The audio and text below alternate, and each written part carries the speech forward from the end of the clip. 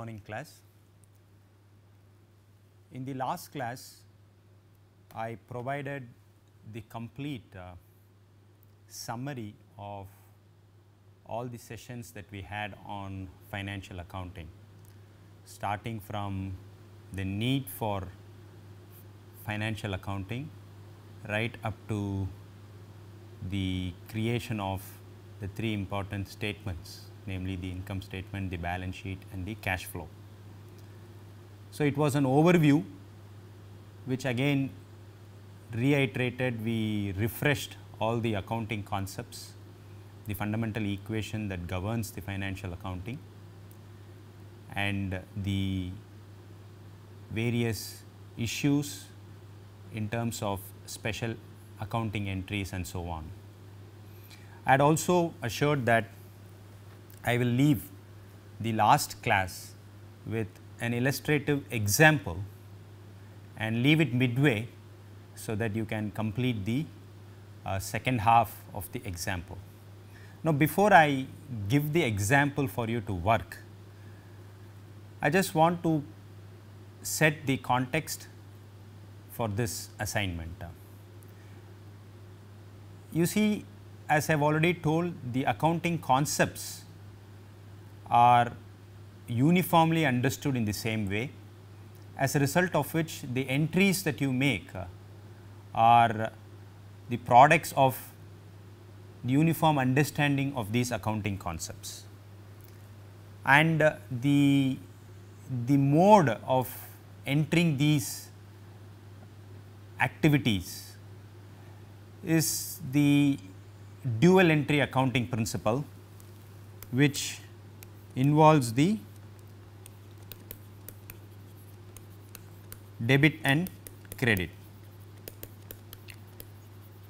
And I have already mentioned that in the double column presentation that we record these entries, debit simply means that it is the left hand side and then credit simply means that it is the right hand side. And this is the simple meaning of debit and credit. And we also saw how that the T accounts or the T accounting is a convenient tool to illustrates the effect of transactions on each account. By transactions I mean the activities that happen in an entity. On each account and account I mean the title of the nature of these activities. It could be cash, it could be inventory, it could be uh, accounts receivable, assets, investments, sales, anything. So, all of these are called accounts and that the T account is a convenient tool for illustrating the effects of these transactions on each of these accounts. Now, for example, let me say if I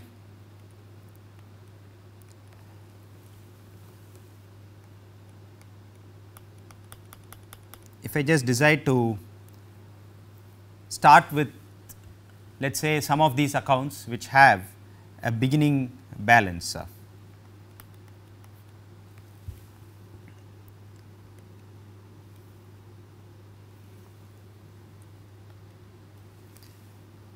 cash let us say it already has a beginning balance of 9500 rupees. And suppose I started off by buying inventory worth 200 rupees on account from a vendor, on account from a vendor.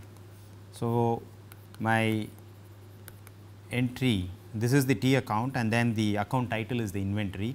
Let us say the beginning balance I indicate BB as the beginning balance was 9500 when we started off and now as I said I just bought 200 rupees of inventory on account from the vendor and that is the first transaction I am making.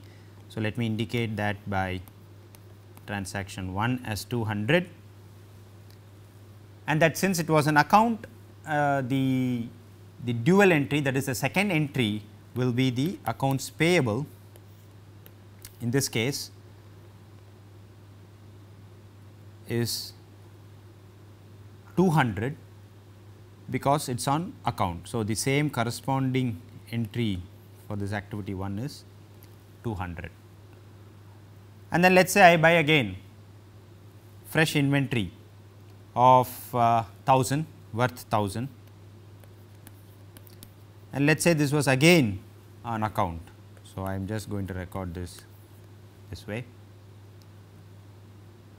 And then the third activity was I am paying the first vendor whatever was the worth inventory that I purchased. So, which means I am paying him. So, cash goes 300 and to that extent my account payable also reduces by 200 since that was the first invoice. And then let us say I am also paying salary to my uh, laborers.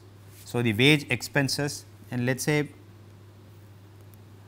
I am supposed to pay at the end of this month I am supposed to pay wages worth I am not yet paid, but I am supposed to pay uh, wages worth uh, 500 and then I decide no I need to I am going to pay them immediately. So, what was accounts payable before gets reduced by 500 this is the fourth transaction and that I pay them today is 500. Now, this is just an indication of how the different transactions are recorded under each of the accounting heads and then each of them needs to be captured in the financial statements that we saw before. But if we leave all of these just like that, it is very difficult for us to interpret the nature of these transactions. And that is why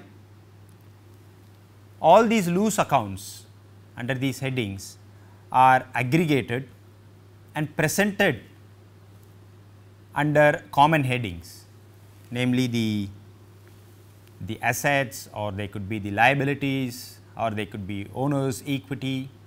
So, these are broad headings under which each of these accounts will fall. And the criteria for each of the accounts to be an asset account or a liability account or an owner's equity account differs. So, but broadly it will be the assets is equal to liabilities and actually liabilities include the owner's equity. Now, for an account to be categorized under an asset, we have certain broad criteria very generalized that assets means that it has to be acquired at a measurable cost. And we spent enough time on this just revisiting this concept because this is these are all very important concepts before we actually start recording these transactions. And that these assets are obtained or controlled by the entity.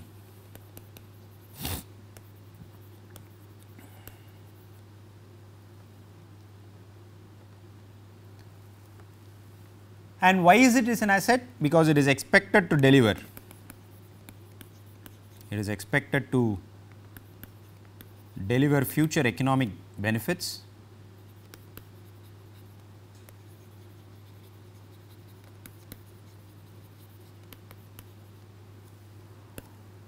or it could also be the result of a past transaction or an event.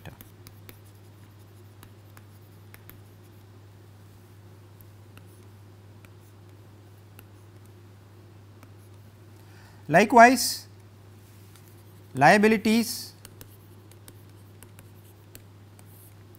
means that an account the nature of an account a liability account is in such a way that it involves a probable future sacrifice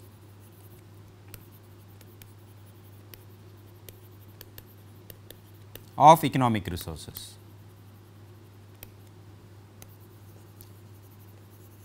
or that there could be a complete transfer of the economic resource to another entity.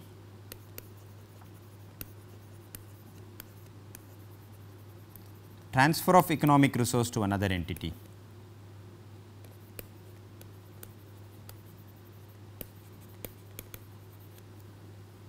Or just as we saw in assets, the future sacrifice arises from a past transaction. Past event or a transaction.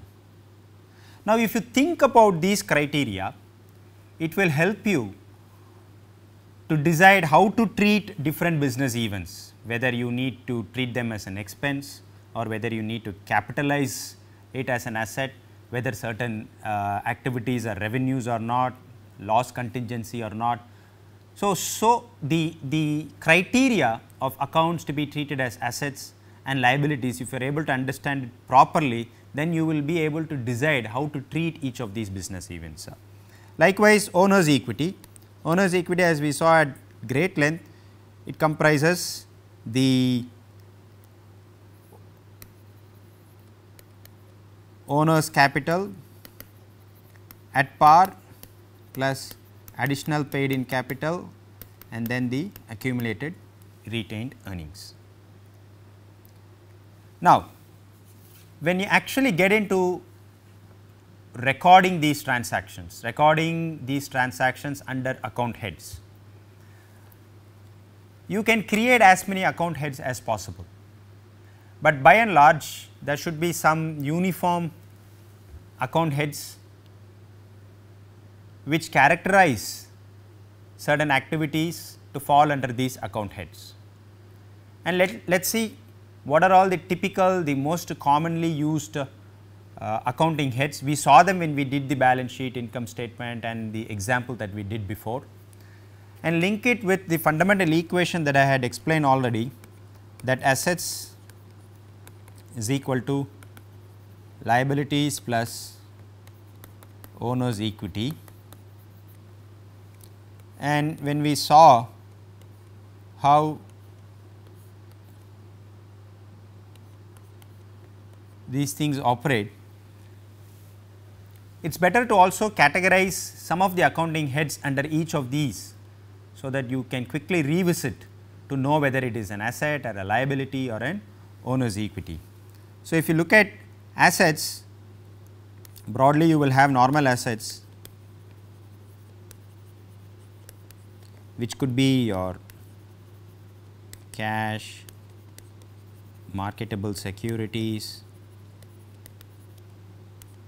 accounts receivable, inventory. I am just trying to list out all possible commonly used account heads under the normal asset category. Prepaid expenses, your property, equipment, these are long term assets or investments. Likewise, you might also have contra assets when we talked about the special entries, the closing entries could be a bad debt reserve, accumulated depreciation and so forth. Likewise, your most commonly used liability accounts will be your accounts payable, salary payable, notes payable, I am talking about current liabilities, short term liabilities or long term debt,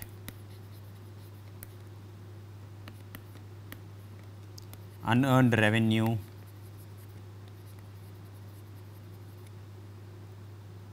then it could be even your dividends or tax payable. These are the commonly used accounting heads under the liabilities category and in equity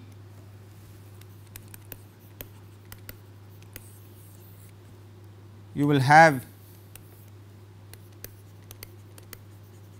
dividends let us say expenses and revenue which means we are linking it with the retained earnings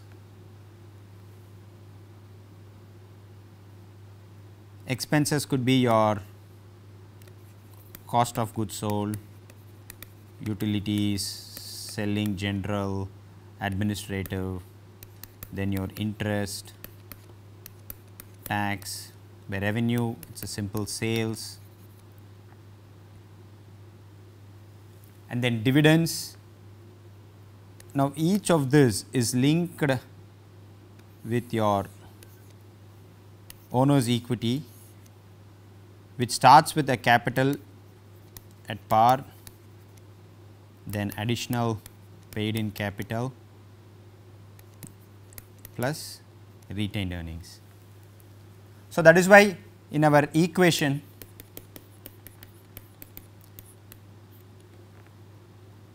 we had it this way anything that increases owner's equity must be on the credit side and that reduces is on the debit side.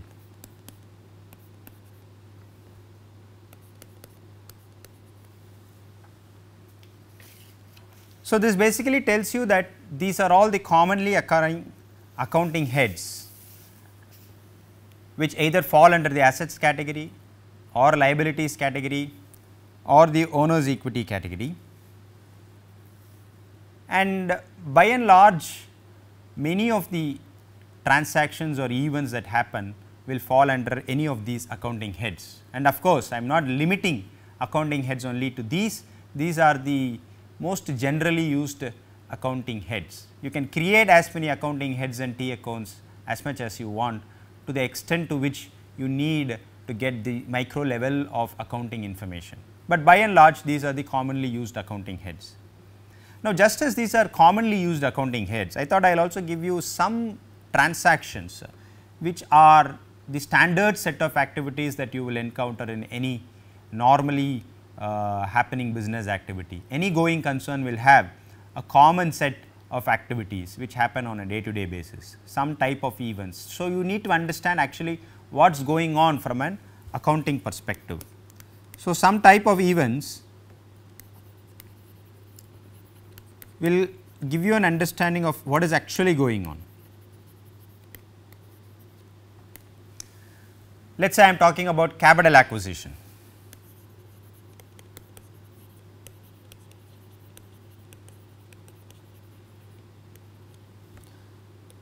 Let us say the first thing is getting investment.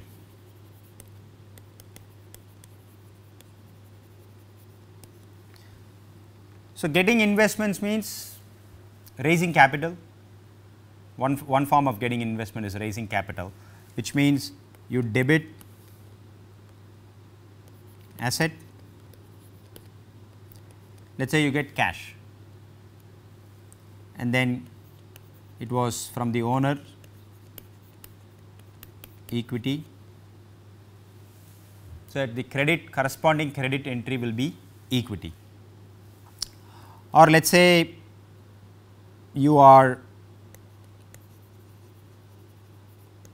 closing annual net income.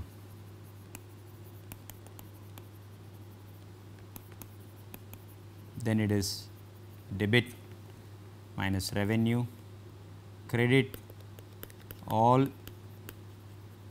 expense and increase in equity. Or let us say one of your activity was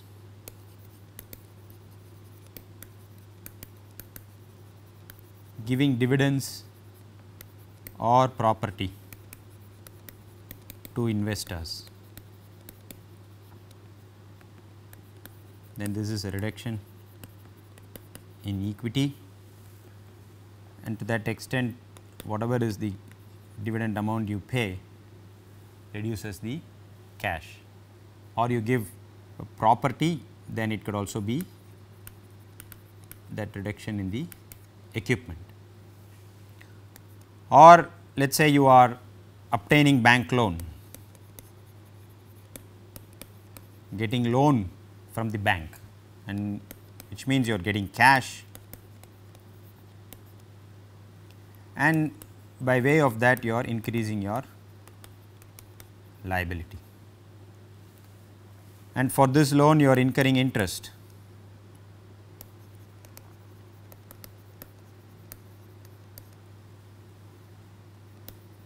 So, the interest expense and credit plus liability or if you are actually paying cash then it is minus cash or if you are paying back the loan if instead of getting you are paying back the loan it, it becomes the reverse if you are paying back the loan then your liability reduces and your asset in this case cash reduces. So, these are some of the oftenly occurring capital acquisition and also in this case uh, repayment events. So, you will understand what is going on if you are able to look at this map. So, that let us say for example, getting loan means it increases the asset cash and then also increases your liability. And every entity has sales and collection activities.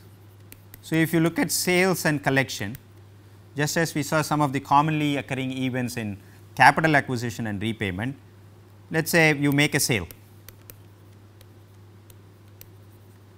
You make a sale and get paid for that also. There is a difference between just making a sale and then getting paid for it. So, if you make a sale and get paid, you are getting paid, so you are receiving cash, in this case cash and since you are making a sale it is the revenue account that gets impacted because of it. Let us say you make a sale on an account which means you made the sale, but you are not receiving cash for it, but still it is an asset creating entity except that instead of cash it is an accounts receivable. And since you have made a sale it is a revenue generating activity. And you receive payment for the account. Then you receive cash because your accounts receivable for the accounts receivable you receive cash and then to that extent your accounts receivable reduces. There could also be a possibility where you are getting paid before the sale completion. Now, here you record this as cash and the corresponding entry will be an increase in your liability which usually we call it as unearned revenue because it is a liability a service or product that you have not delivered but recognized as a sale and already collected cash for it.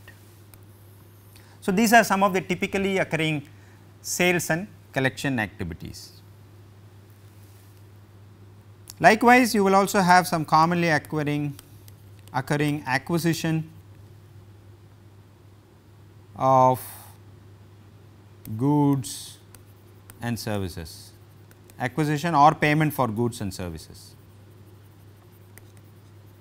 acquisition of and payment of goods and services. Now, suppose you are buying some good for current value.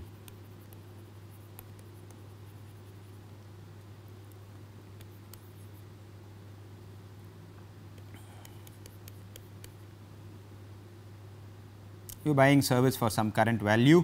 So, you debit it whatever is the service you are buying you debit the expense and since you are paying in cash it goes. Now, suppose you buy the same service for future value just as we had the unearned revenue in the previous case. Suppose you buy the service for a future value, then it gets recorded as an asset. Remember when we gave the account head there was something called prepaid expense. It remains as an asset as long as you have not used it and the fact that you have already bought it for cash will be recorded except that it is going to deliver the value only in the future. Now, another possible case could be that you are buying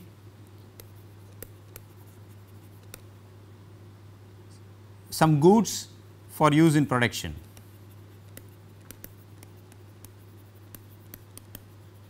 In that case, will inventory that we usually buy raw material. And then since we bought it asset cash.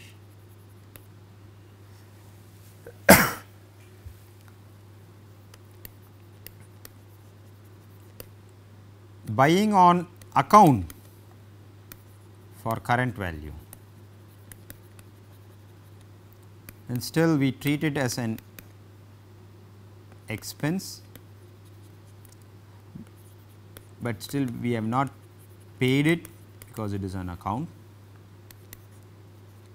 The same if you are buying on account for future value, same thing debit, but it will be prepaid expense, credit it will be liability. Now, the same thing buying for use in production if I am going to buy on account it is going to be the same thing the debit asset except that here that will be a liability. If the same thing buying for use in production is on account then it results in inventory except that instead of cash it becomes a liability. Now, suppose I am using the resources previously paid for. Suppose I use resources previously paid for. Then that resource, the value of the resource gets expensed and to that extent what was an asset as a prepaid expense before to that extent gets reduced minus asset and the asset was prepaid expense in the previous case. Or also could be using resources, but not yet billed. I have already used the resources, but I have not been built for that still I need to treat this as an expense and it will become a liability account usually we call that as accrued expenses. accrued expense. Typically, when you use resources for which you are not at bill, but you would immediately treat it as an expense and then it, it increases your liability part and once you are billed to that extent the liability reduces and whatever amount that you have uh, paid gets uh, into cash. Now, these are again not just the exhaustive list of accounting events, not the exhaustive list of transactions that will happen in a firm. By and large, this can represent some of the most commonly occurring events in any entity. So, if you have this knowledge that there is something called these accounting principles and that you need to record these transactions on the left hand side, right hand side under account heads, T accounts and then you will have to aggregate all these T accounts, identical T accounts under a particular accounting head, cash, inventory, accounts receivable, whatever the case may be and put them under each of the categories could be an asset category, liability category or an owner's equity category. And if you are able to do all of this, then you will create an balance sheet and income statement. So, what I will do is to give you some practice accounting entries as a closing example and leave it midway as I said before and leave you to finish the balance sheet, complete the balance sheet and income statement. So, I will just give the closing example. Now, what I have done till now is just to give you some of the standard accounting heads, some of the standard activities to understand what typically happens in a firm. Now, this I will qualify with some examples of what actually happens in a firm and we will record them as T accounts and leave it at one point so that you can complete create the trial balance, the balance sheet and income statement. So, what I will be doing is to give you some activity then you will understand what happened because of this activity and what entry you are going to make for this particular activity. Now, let us say I begin with an example where I invest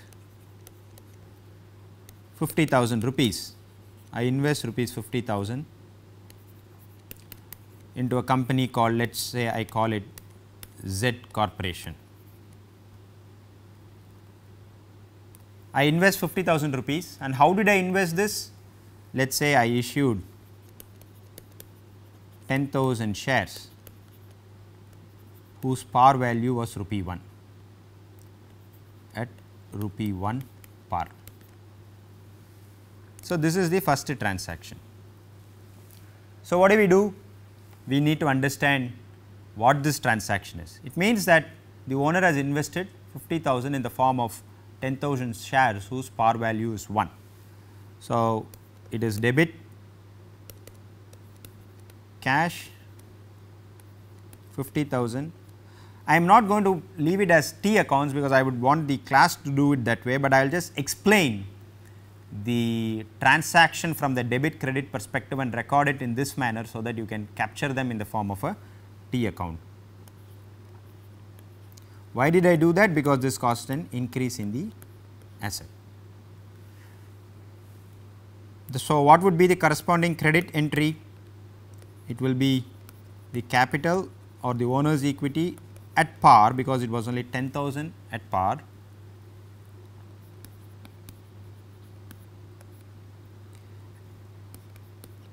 this causes an increase in equity and something called the additional paid in capital which in this case is 40,000.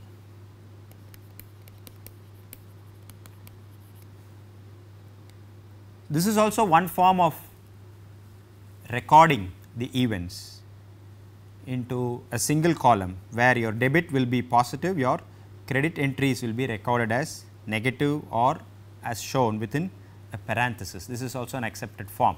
So, what I am doing in this class is to also give you the second form of entering the transactions into debits credits in a single column and you can transfer this into our typical T account debit on left and credit on right and then go forward. Now, let us say the second entry was this Z corporation signs and pays a one year lease for rupees 24,000.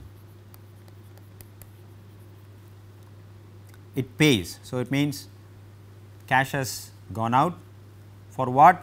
It is a one year lease. So, you can treat that as a prepaid rent in this case is an asset whose value is 24,000 increase in asset and that is why it is debit. Credit since I have paid it cash 24,000 since cash goes out it is an asset. This is 2. I will quickly record some of the transactions. Let us say it acquired equipment for 3000 rupees cash and 10,000 rupees 10 year promissory note which means a commitment that they will pay the 10,000 over a 10 year period at equal installments and that is how the equipment was purchased. So, the value of the equipment purchased is 10,000 plus 3000 which is 13,000 and it is an asset. So, debit equipment 13,000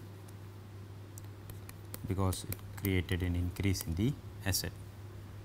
Now, there will be more than one credit entries. The first one is cash, how much? We paid 3000.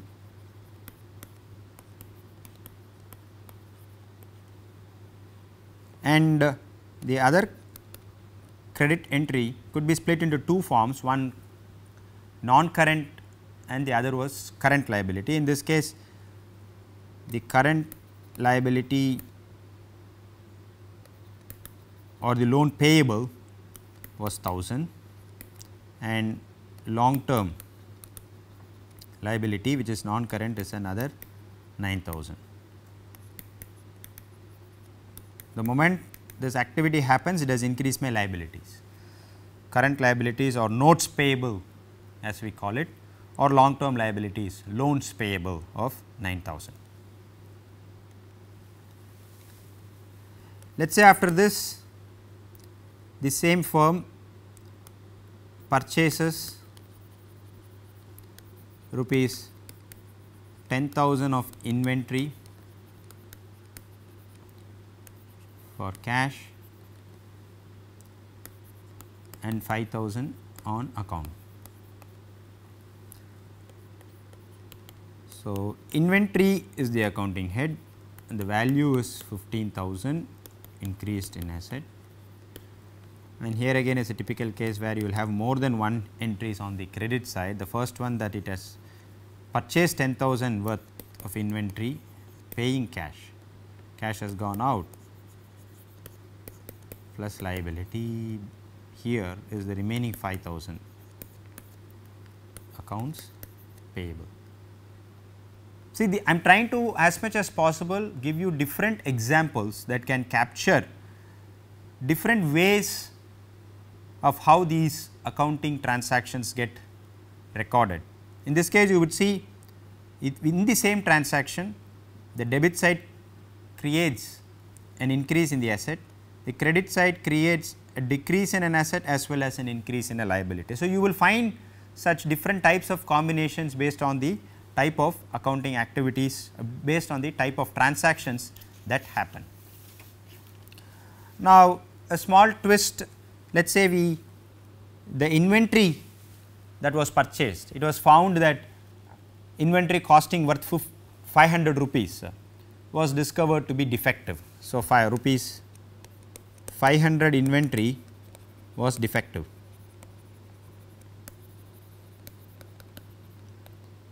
And whoever supplied the inventory agrees to exchange 40 percent of the defective inventory for new inventory and refund 60 percent with cash.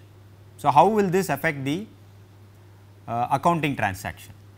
500 rupees of inventory was found to be defective and the vendor agrees to exchange 40 percent or 200 with fresh inventory and the remaining he repays it as cash. So, the inventory exchange of this 200 does not affect the inventory balance because what went out was again supplied. The 200 does not really affect the accounting balance for inventory. But what needs to be recorded in this case is the remaining 300 for which cash was returned. So, you will have debit cash 300 since it is returned cost an increase in your asset and the inventory that you had you have also returned it causing a decrease in asset. So, 500 inventory was as I said 40 percent was exchanged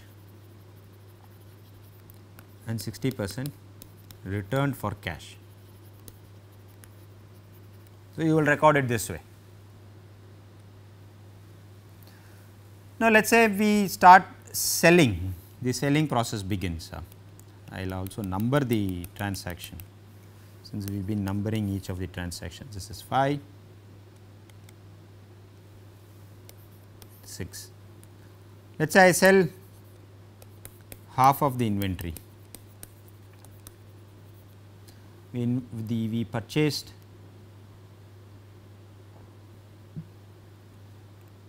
sell half of inventory of 5000 cost for 12000 to customer X.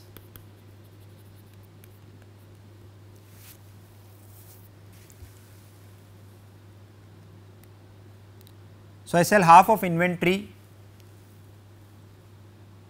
in this case uh, 5000 worth the cost of the inventory 5000 for 12,000 to some customer X. So, we will begin with debit. So, since the sale is made on account, we will record it as debit first accounts receivable the sale value is 12,000 it is an increase in asset and another debit entry we will include here itself is the cost of goods sold is the inventory value that got sold 5000 cost of goods sold is an expense activity. And then the corresponding credit will be sales which is 12000 since it is credit I am putting it within parenthesis negative. It does not mean that sales is negative. It is on the credit side. In fact it is increasing the owner's equity. Any increase in revenue increases owner's equity and the uh, cost of goods sold value the value of the inventory gets reduced to that extent.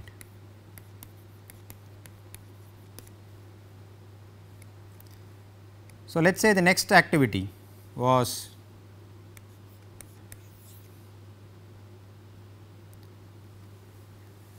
the same customer X tells the Z corporation that they would be willing to buy the rest of the inventory that is available in the company uh, in the next month. So, how do we record this transaction?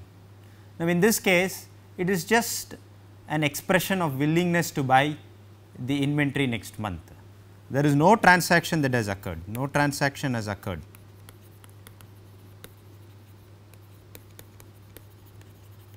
So, we do not record assurances or a willingness to buy the inventory next month. So, there is no transaction that is recorded, it is just uh, an information and that has no accounting value.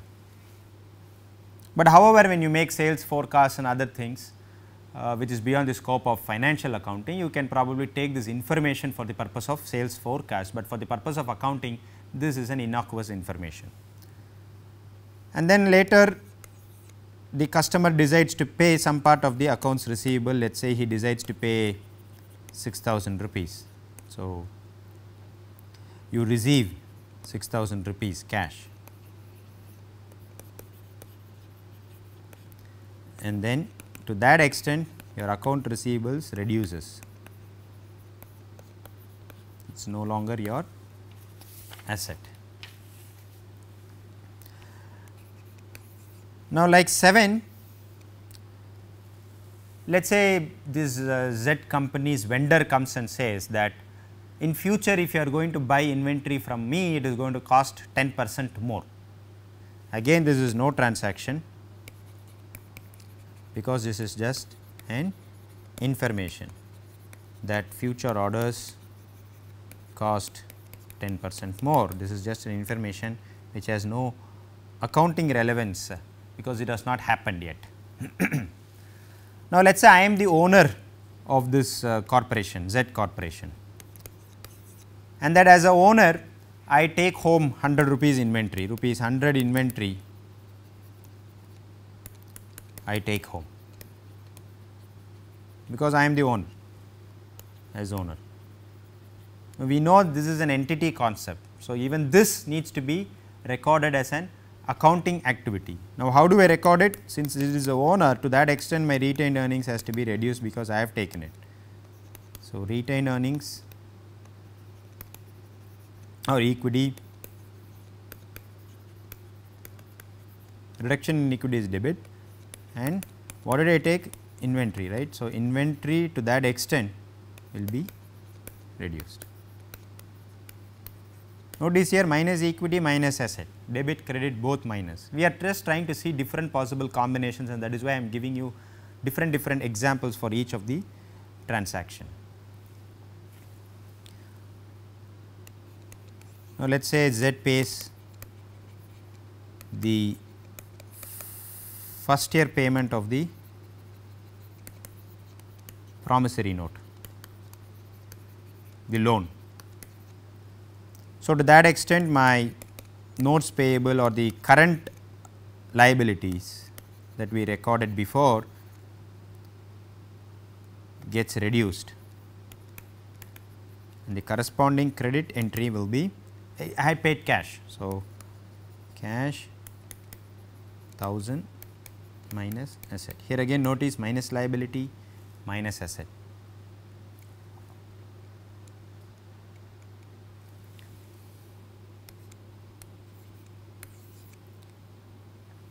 Now, at the end of the month the corporation the company is supposed to pay its employees salary. And let us say the amount of salary that it needs to pay is rupees 200 wages to be paid 200. But let us say we are going to at the end of the month I want to actually create this balance sheet and income statement, but I have not paid. I am I am recording this as an expense for the purpose of creating an income statement because this is an expense that I want to record because this I am reasonably certain and it is possible that this will happen the next month. And the fact that I have not paid it, but I am going to pay definitely next month. Wages payable increases my liabilities 200 anyway I will be paying it next month. So, what happens when I pay next month to that extent my liabilities gets reduced and cash gets reduced by 200. Now, let us say after this one month the the lease the building that we rented. So, one month lease value has reduced. So, what will we do at the end of the month? We treat that as a rent expense and how much was that? It was 2000 because it is a 24 24,000 lease. So, we record that as an expense and remember we record it as prepaid rent uh, which was an asset at the beginning and at the end of the month that value gets reduced by 2000.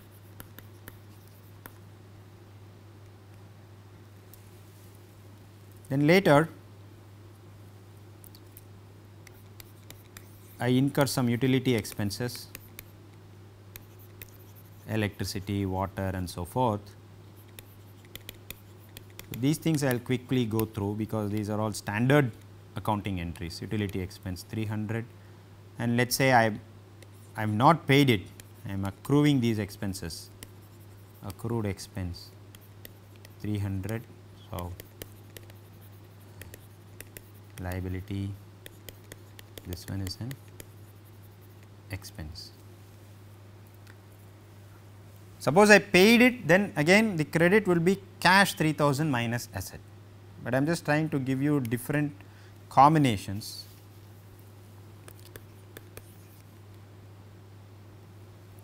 Now, let us say one year has elapsed now in the equipment that we purchase whose life is 5 years. So, the 13,000 rupee worth equipment that we purchased is now at the end of 1 year worth less than 13,000.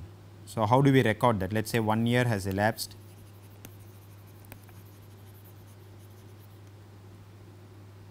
for the equipment whose value was 13,000 right. So, that one we treated as a depreciation expense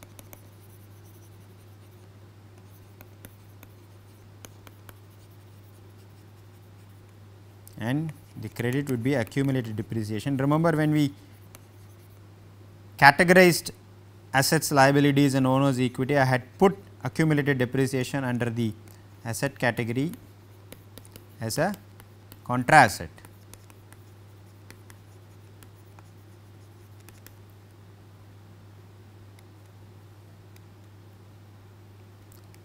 Let us say finally,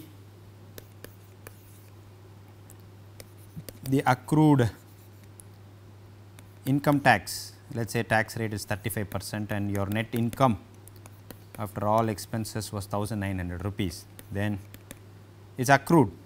So not yet paid, but you you are treating it as an expense because a principle of conservatism 665 is an expense.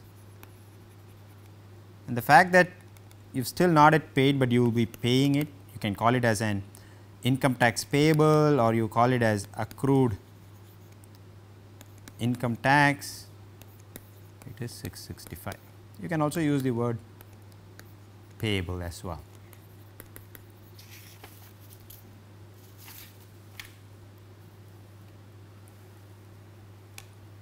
So, these are let us assume these are the set of transactions that have happened and I would like you to prepare a trial balance, an income statement and balance sheet from this transactions, these set of transactions. And I leave the class with some pointers. One is that one tenth of the promissory note has now become current due within 12 months. So, you need to record that transaction and also try to zero out the income accounts to the retained earnings. So, what do I mean by that? We know that a sale of 12,000 has happened. So, I am zeroing out the income accounts to the retained earnings. So, I am going to also identify all the cost of goods sold and expenses. In this case, the cost of goods sold was 5000 then one month's rent was 2000 the utility expense we recorded as 300 wage 200 depreciation expense 2600 is what we recorded after 1 year. Tax 665 and then you can calculate the retained earnings with this. So, what I would want the class to do is with these transactions, though from for the equipment I said 1 year has elapsed, you can for the purpose of closing all these entries, let us say at the end of 1 month I want to look at the income statement and balance sheet and these are the activities that have happened in the last 1 month. And these activities I have recorded in a single column fashion where debit is positive and credit is negative. That is also one way of recording. But you please start recording them as T accounts, number each of the accounting heads, aggregate them and create a trial balance, make sure that your entries are correct and then create your own balance sheet and income statement. So, that would probably be a good assignment for you to understand the entire concepts the way in which accounting entries are recorded and the way in which you create a trial balance, a balance sheet and an income statement. So, with this I will conclude all the sessions on financial accounting with this illustrative example which I have just, I have just partly completed and leaving the remaining part for you to complete. And from the next class onwards as I had assured we will get into management accounting. So, I encourage you to finish this assignment that I am leaving midway and next class we will start management accounting. Thank you.